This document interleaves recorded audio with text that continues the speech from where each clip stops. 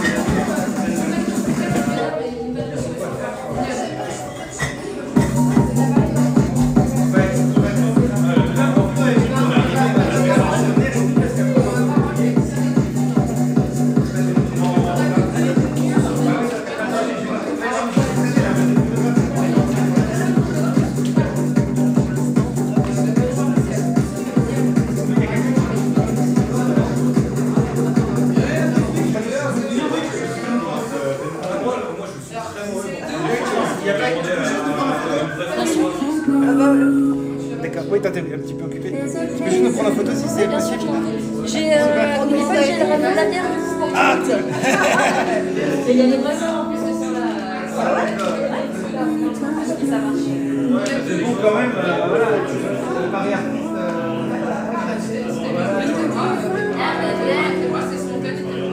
Allez,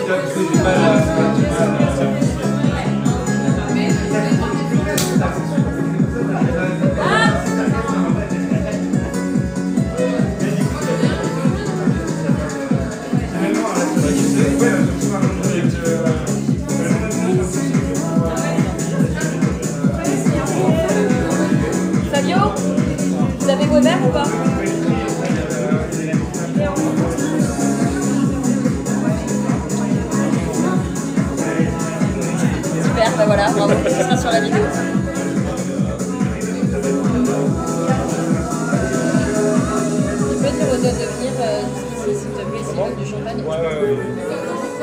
Ça marche. Et j'ai la pincette aussi. Et j'ai ramené trois bouteilles. Coupe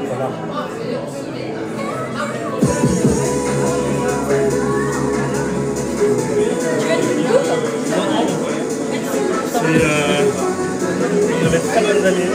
Une de tes Une de mes très bonnes amies. Ah, enchantée, tu t'appelles comment Enchantée Camille. Camille, qui est mon amie d'enfance. Ok. Nos parents étaient, nos pères étaient amis. Ok.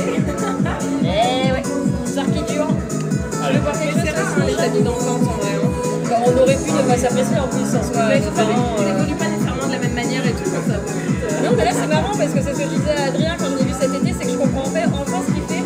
Et euh, on a enfin d'autres. Ouais, ça y est, c'est bon. J'ai. Euh, euh, connais Arco ou pas C'est une salle d'escalade, yogi, bar, euh, yoga, euh, restaurant, brasserie, etc. Une chaîne, il y en a plein. C'est pas une chaîne. Ah oui, hein. Arco, c'est RKOSE. C'est la salle d'escalade. euh, c'est pas grave, ça arrive à des gens à Paris, c'est c'est assez connu. C'est pas grave, Je pleure dans mon coin, mais. Non, mais vraiment, J'avoue que c'est vertige donc je ne peux pas connaître. Ah bah, c'est pas très haut, mais par contre, effectivement, t'es pas assuré. Et euh, c'est ouais, des lieux de vie super sympas, les gens vont faire du coworking, etc. On a le brasserie au sous-sol à Nation. Et moi, je m'occupe de la qualité des établissements en Ile-de-France. Du coup, je fais des audits, je tourne. euh, C'est ça une café.